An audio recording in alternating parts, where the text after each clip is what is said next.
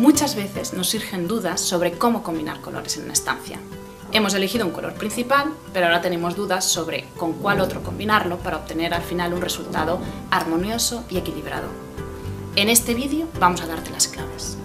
Y para empezar, quiero hablaros sobre la rueda cromática, porque la rueda cromática es un círculo donde se hallan ordenados todos los colores posibles, entre los que escoger una combinación adecuada.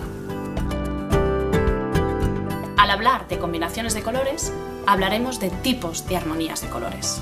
Y la primera sobre la que os voy a hablar es sobre la armonía de colores neutros. Esto significa usar una combinación de colores neutros como el blanco, el gris o el negro. O utilizar los diferentes grises en sus escalas. De esta forma utilizaremos siempre un resultado armonioso y equilibrado. Otra armonía sería la armonía monocromática, o también llamada tono sobre tono. Con este tipo de armonía daremos un mayor dinamismo al ambiente. Un mismo color lo combinaremos en diferentes intensidades en un mismo espacio, obteniendo un resultado equilibrado, armonioso, pero con un cierto dinamismo. La combinación llamada analogía de colores significa combinar dos tonos en una misma estancia que estén contiguos en la rueda cromática o rueda de color. De esta forma daremos al interior un mayor dinamismo que si hubiéramos utilizado la combinación tono sobre tono. Es decir, combinamos en un mismo interior rojos, naranjas y granates, verdes con turquesas, azules con violetas.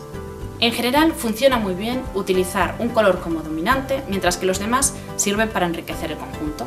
Es una propuesta llena de matices y muy efectista. Otro tipo de armonía sería la armonía de colores complementarios. Con esta armonía obtendremos un interior con gran fuerza y dinamismo. Se basa en utilizar la combinación de colores contrapuestos de la rueda cromática en un mismo espacio.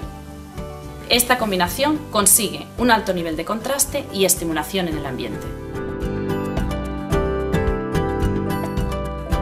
Acabamos de ver cómo existen diferentes maneras de combinar los colores para obtener un resultado espectacular, pero al final sois vosotros los que tenéis que elegir el color en función de vuestro gusto personal.